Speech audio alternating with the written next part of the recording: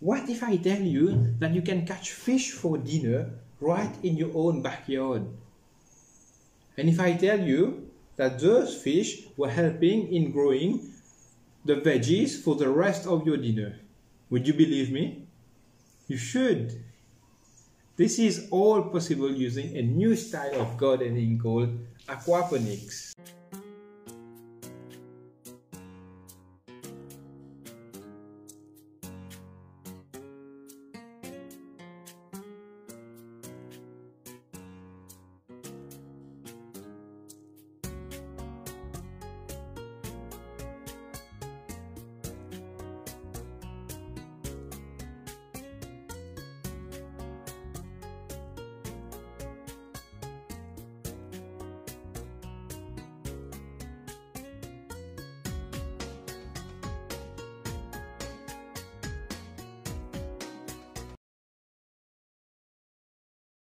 Hello everyone, welcome to my channel.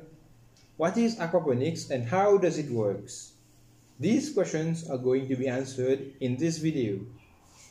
Stick around till the end, I will give you some tips on aquaponics. Before we begin, I want to thank you for watching my video and to please subscribe to my YouTube channel. You can also follow me on Facebook and on my Instagram page as Inspire Me. Thank you. Now, let's get started by answering the question, what is aquaponics? Aquaponics draws its name from two of its subsystems.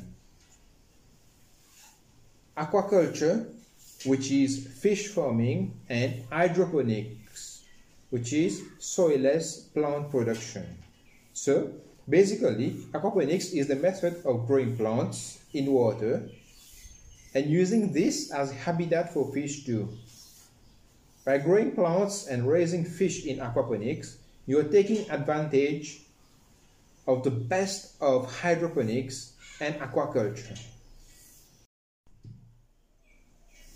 In hydroponics, you are growing plants in water, but you need to add nutrients, which is not organic.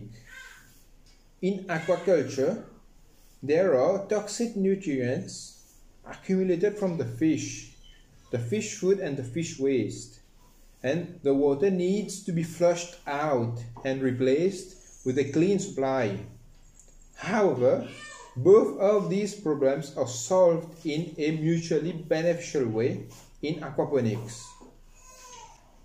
Water is saved from the continuous cycling of the fish to the plant and back to the fish again.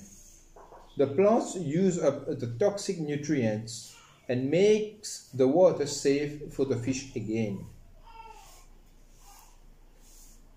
Now that you know what is aquaponics, you need to understand how the process works. The main process in aquaponics to make the system works is the nitrogen cycle.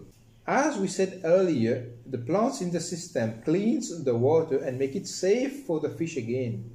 The nitrogen cycle makes this all possible. Now let's talk about the nitrogen cycle. So this is the nitrogen cycle. The waste product of the fish as well as decomposing fish food and fish waste produces ammonia.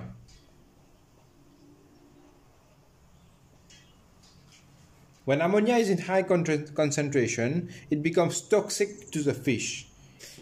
In an aquaponic system, there is a nitrifying bacteria known as Nitrosomona.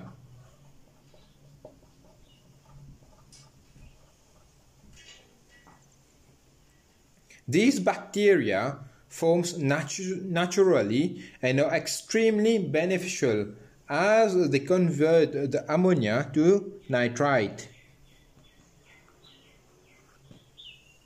Unfortunately, nitrite is even more toxic to the fish than ammonia. Luckily, there is another class of bacteria called Nitrobacter.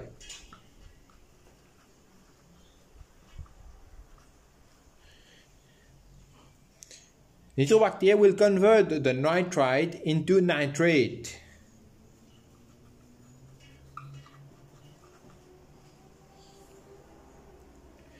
The nitrate are a great source of nutrients for the plants. And then the plant will send back fresh water to the fish.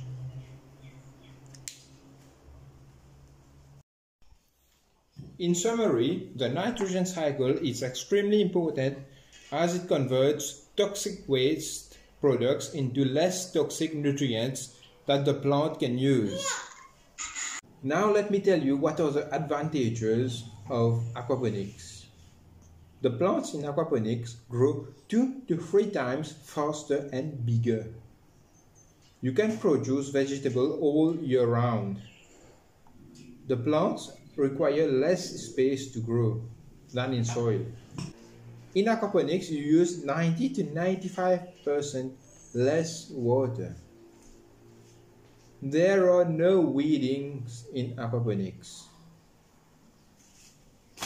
The life of the plants is prolonged. It requires less labor time. The biggest advantage of aquaponics is that it is 100% organic, unlike in soil planting and hydroponics. This is a lettuce from my aquaponics system. I just got it today for dinner. Yes, unfortunately, growing veggies using an aquaponics system has also some weakness. First, there is a huge initial setup cost. Secondly, the farmer should have a good knowledge of fish, bacteria, and plant production to be successful. Small mistakes can be catastrophic to the whole system if the farmer is not knowledgeable. As promised, here's a tip for you. Start small. If you don't have much experience in aquaponics, you, you, be, you better start small with a small system and expand the system as your experience progresses. In the next video, I will talk about the different components in an aquaponics system. Don't forget to subscribe to my channel to get the latest updates. Thank you for watching. See you in my next video. Bye.